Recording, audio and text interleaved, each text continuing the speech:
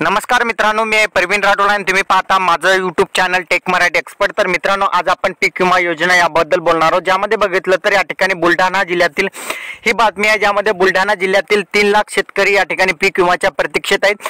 ज्यामध्ये खरीप पीक विमा अद्यापही त्यांना मिळालेला नाही. आता यासाठी काय उपाय योजना केल्या जात आहे याबद्दलही बोलणार आहोत. त्याचं सविस्तर माहिती घेऊया. तर चला व्हिडिओ स्टार्ट करूया. तर मित्रांनो या ठिकाणी बुलढाणा सातत्याने संकटाचा सामना करणाऱ्या शेतकऱ्यांना गेल्या हंगामात नुकसान झाले. यंदा दुसरा हंगाम तोंडावर आला तरी या ठिकाणी मागील वर्षाचा पीक विमा अद्यापही मिळालेला नाही. त्याचबरोबर बुलढाणा जिल्ह्यात जवळपास तीन लाख शेतकऱ्यांना पीक विम्याची प्रतीक्षा लागलेली आहे. यामध्ये बघितलं तर जिल्ह्यात खरीप हंगामामध्ये या ठिकाणी मूग उडीद सोयाबीन ज्वारी मक्का कापूस व तूर या सात पिकांसाठी प्रधानमंत्री पीक विमा योजनेअंतर्गत अधिसूचित आहे. त्याचबरोबर या ठिकाणी जिल्ह्यात पाच लाख एक्क्याण्णव हजार शेतकरी असून गतवर्षी दोन हजार वीस एकवीस या हंगामात शेतकऱ्यातील जिल्ह्यातील दोन लाख पंच्याण्णव हजार एकशे सत्तर एकावन्न शेतकऱ्यांनी पीक विम्यासाठी सहभाग घेतलेला होता. दोन लाख पंचवीस हजार या ठिकाणी आठशे दहा हेक्टर क्षेत्रासाठी या ठिकाणी हा पीक विमा काढण्यात आलेला होता. मागील हंगामात या ठिकाणी खरीपात पेरणीसाठी कापणीपर्यंत पावसाने नुकसान केले. उत्पादनात वाढ होऊन उत्पन्न मिळवण्याची आशा असतानाही ऐन या ठिकाणी काढणीच्या हंगामात सोयाबीन पिकाचे नुकसान झाले होते. यावर्षी आधी म्हणजेच या ठिकाणी अर्थात एकोणीस वीसमध्ये अडुसष्ट टक्के शेतकऱ्यांना पीक विमा मंजूर झालेला होता. महत्त्वाचे म्हणजे या ठिकाणी यावर्षी दोन लाख अडतीस हजार दोनशे अठ्याहत्तर शेतकऱ्यांना सहभाग घेतलेला होता. यापैकी एक लाख अडुसष्ट हजार एकशे त्र्याऐंशी शेतकऱ्यांना दोन दोनशे तेवीस कोटी पंचेचाळीस लाख रुपयांची विम्याची हमत या ठिकाणी विम्याच्या मोबदला मिळाली. हा चांगला अनुभव पाहता गतवर्षी सुमारे त्रेचाळीस हजार शेतकऱ्यांची वाढ पीक विमा योजनेत झाली.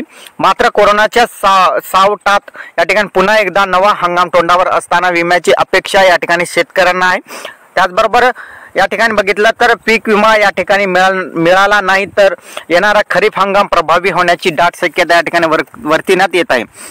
संपूर्ण जिल्ह्यातील एक हजार चारशे एकोणीस गावांमध्ये अंतिम पैसावारी ही पन्नास पैशांच्या आत असले असल्याने शेतकऱ्यांच्या आशा पलविल्या झाल्या आहे याचबरोबर बघितलं तर एकशे सत्तर कोटींचा या ठिकाणी हप्ता या ठिकाणी शेतकऱ्यांनी जमा केलेला होता. यामध्ये बघितलं तर दोन हजार वीस एकोणीस वीसमध्ये या ठिकाणी टोटल या ठिकाणी सहभाग दोनशे अडतीस दोन दोन लाख अडतीस हजार शेतकरी होते.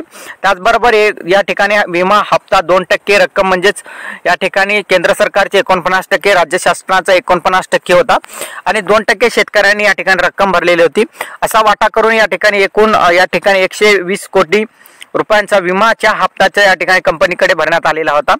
त्या तुलनेत एक लाख बासष्ट हजार एकशे त्र्याऐंशी या ठिकाणी शेतकरी जे पात्र होते जवळपास दोनशे तेवीस कोटी पंचेचाळीस लाख रुपयांच्या या ठिकाणी मोबदला शेतकऱ्यांना मिळणार होतं.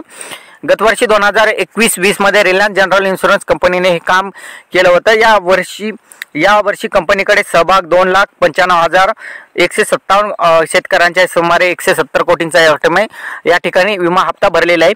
त्यामध्ये या ठिकाणी दोन दोन लाख अडतीस हजार दोनशे अठ्ठ्याहत्तर शेतकऱ्यांनी सहभाग नोंदवलेला आहे. त्यामध्ये आता किती शेतकरी पात्र होतात आणि किती अ, शेतकऱ्यांना याचा लाभ मिळतो हे पाहणं आश्चर्य करत असेल. जर तुम्हाला बुलढाणा जिल्ह्यातील असाल आणि तुम्हाला पीक विमा मिळाला असेल नक्की कमेंट करा आणि जर तुम्ही कोणत्याही जिल्ह्यातील असाल तर तुम्ही कमेंट करा. तुमच्या जिल्ह्याचं नाव त्याविषयी मी माहिती नक्की आणेल. इथेच थांबा. जय हिंद जय महाराष्ट्र.